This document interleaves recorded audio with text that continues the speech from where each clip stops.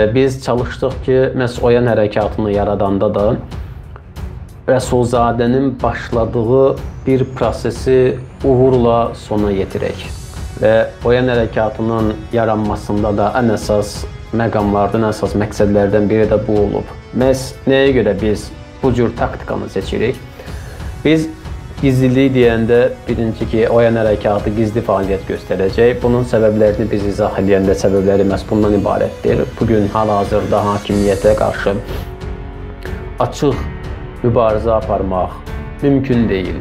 Əgər kimlərsə açıq mübarizə aparırsa, bunun iki səbəbi ola bilər. Hakimiyyətin içində, daha doğrusu Azərbaycanın içində əgər açıq mübarizə gedirsə və hakimiyyətin dəyişdirilməsi iddiası ortaya qoyulursa, burada iki səbəb ola bilər. Birinci səbəb ya bu insanlar prosesin ciddiliyini nəzərə almır, bu insanlar kifayət qədər məsuliyyətsizdir. Bir bu səbəb ola bilər.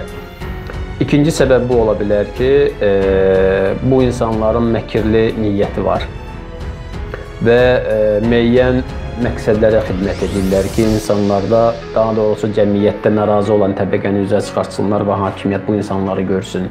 Hakimiyyətin e, cəza mexanizmi saat kimi işləyir. Hakimiyyətin repressiya siyasəti saat mexanizmi kimi işləyir. Ona görə də biz bütün bunları nəzərə aldıq. Biz Azərbaycanın tarixinə baxdıq. Bizə lazım deyildi, nə bilim, başqa ölkələrdə nə, nələr baş verib, necə baş verib. Biz birinci öz tariximizə baxdıq. Görək bizim tariximizdə bizim babalarımız hansı dəyərlər uğrunda mübarizə aparıblar və hansı strateji taktikalardan, strateji gedişlərdən və taktiki gedişlərdən istifadə ediblər. Və biz Rəsulzadənin həyat və yaradıcılığından tanış olanda, Rəsulzadənin keçdiyi yolla tanış olanda və biz gördük ki, bəli, burada əməlli başlı bir məktəb var. Və Rəsulzadənin keçdiyi yol bir çoxlarımız üçün bizim əslində bir davranış modelidir və biz buradan öyrənməli idik. Nə idi birinci? Birinci Rəsulzadə baxdı, gördü ki, açıq şəkildə Çar Rusiyasına qarşı mübarizə aparmaq mümkün deyil. Həddindən artıq risklidir. Və riskli olduğu üçün də Rəsulzadə nə idi? Rəsulzadə gizli fəaliyyət göstərən bir e, cəmiyyətə üzv oldu. Və bu cəmiyyətin eyni zamanda e, cəmiyyətin içində, nəzdində hümmət deyilən bir təşkilat yaradıldı. Söhbət gedir e, 1904-cü ildən. Hümmət deyilən bir təşkilat yaradıldı və bu təşkilatın özünün də e, qəzeti çıxırdı, Hümmət adında qəzeti çıxırdı. Bu gün məhz Oyan hərəkatının gizli özəyi ki var, həmin özəyin adı Hümmətdir. Biz Hümmətə insanları müəyyən proseslərdən keçərək Hümmətə cəlb edirik, həm onların təhlükəsizliyi təmin olunsun deyə, həm də o insanların bizlərlə ideoloji müstəvidə uyğunluğu varmı yoxsa yoxmu?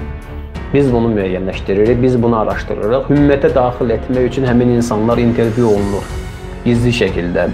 O səviyyə müəyyənləşsin. İkinci, dəyərlər anlayışı müəyyənləşsin. Bunu biz Rəsulzadədən öyrəndik. Bir çoxları bəzən mənə ən çox bizi şəxsən qınadıqları məqam ondan ibarətdir ki, siz oturmusunuz Avropada, siz elə bilirsiniz ki, Avropada olan hər şeyi götürüb biz Azərbaycana təqdim edə bilərik. Məsələ orasındadır ki, bizim götürdüyümüz əslində Avropadan deyil, bizim götürdüyümüz Azərbaycanın öz tarixindəndir, bizim öz keçmişimizdəndir. Biz oradan götürürük, biz oradan həvəslənirik, biz oradan belə deyim fərəhlənirik və biz oradan güc tapırıq. Bizim babalarımızın keçdiyi yollarda biz baxıb onlardan güc tapıb bu prosesi məntiqi bir sonluğa yetirmək istəyirik. Güclü Azərbaycanlı kimliyini qurmaq istəyirik. Biz mühacir hökumət deyəndə xaricdə mühacir hökumət qurulacaq deyəndə onu bir çoxları çox qısqanclıqla və qeyri-real bir ideya kimi qəbul etməyə başladılar ki, necə ola bilər? Belə bir şey indiyənə qədər olubmu? Bəli, olub. Azərbaycanın öz tarixində.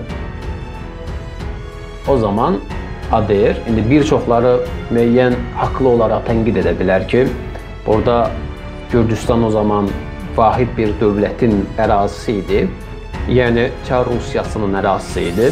ADR o vaxtı qurulanda bu cür tənqid oluna bilər. Digər tərəfdən məhz Osmanlı ordusunun Bakıya daxil olması və e, Bakıya daxil olmaqla məhz ADR Gürcüstandan Bakıya gəlməsinin təminatı rolunda oynadı Osmanlı ordusu. Bu bu arqumenti də gətirə bilərlər, hansı ki, kifayət qədər də güclü arqumentdir. Amma fakt onun faktlığında qalır ki, bəli, hadisələr məhz Azərbaycanın xaricində baş verdi və Azərbaycanın xaricində baş verdiyi üçün də prosesləri məhz Məmməd Əmin Rəsulzadə və dostları ilə xaricdən götürüb Azərbaycana Bakıya gətirdilər.